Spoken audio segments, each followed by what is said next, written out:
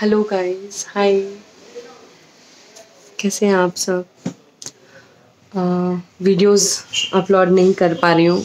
जो कुछ शॉर्ट्स वगैरह होते हैं उनको ही एडिट करके डाल देती हूँ।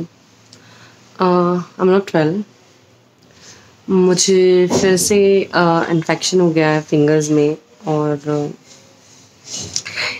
it is like very weird kind of infection की uh, there is no treatment for it time के साथ ही जाता है और ये मुझे थर्ड टाइम हो रहा है। एंड uh, जलन होती है इसके अंदर इरिटेशन होती है। डॉक्टर um, से कंसल्ट किया है।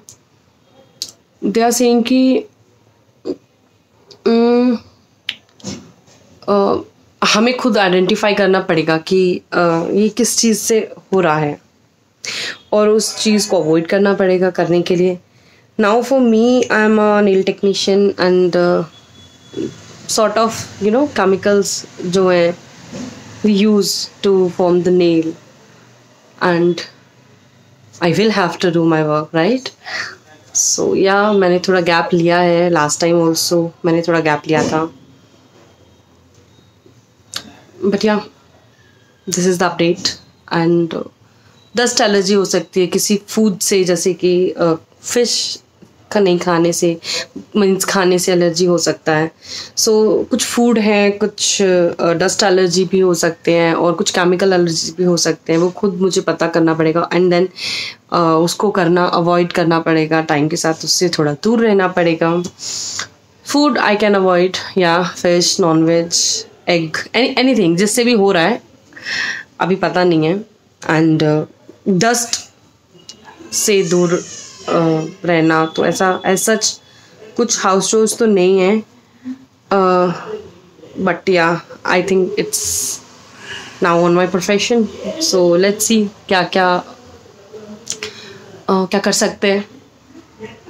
And it's not visible in camera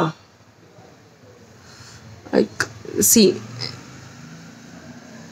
I don't know it's in four finger. I see कि अगर मैं कुछ फ़ोटोज़ अटैच कर सकती हूँ तो। सो so, या कुछ हेयर कॉम नहीं कर पा रही हूँ ऑयलिंग नहीं कर पा रही हूँ नहाई नहीं हूँ। घर ऐसे ही पड़ा है। इट्स रियली बोरिंग घर पे रहना and doing nothing.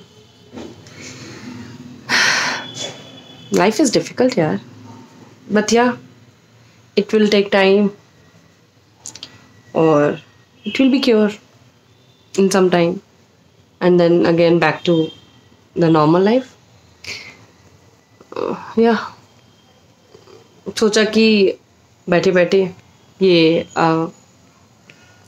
वीडियो बना दूँ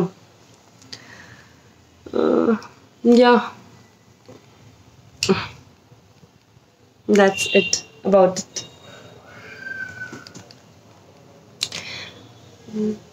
Bye bye